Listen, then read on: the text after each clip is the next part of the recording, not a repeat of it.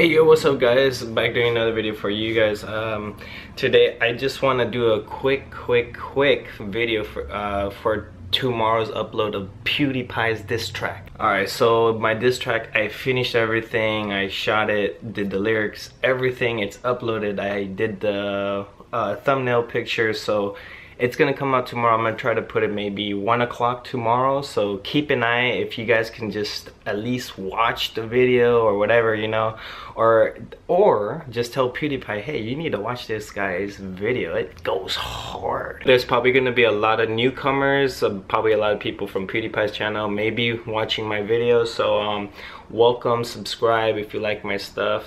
Uh, let me know. I do want to say I don't hate PewDiePie. I don't. I'm not like a huge number one fan, but I just did the diss track just so I could. My channel gets a little bit of exposure. I'll probably get me a few views. So my goal is just to even be shown on PewDiePie's channel. That'd be very cool.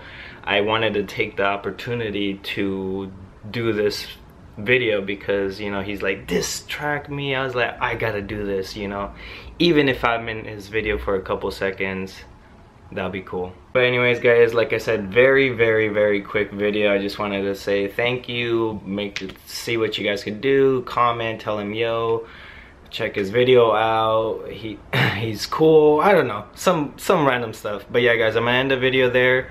My name is Sikh Zero and i'm out. Peace. Thanks, guys. Watch the video tomorrow, Monday.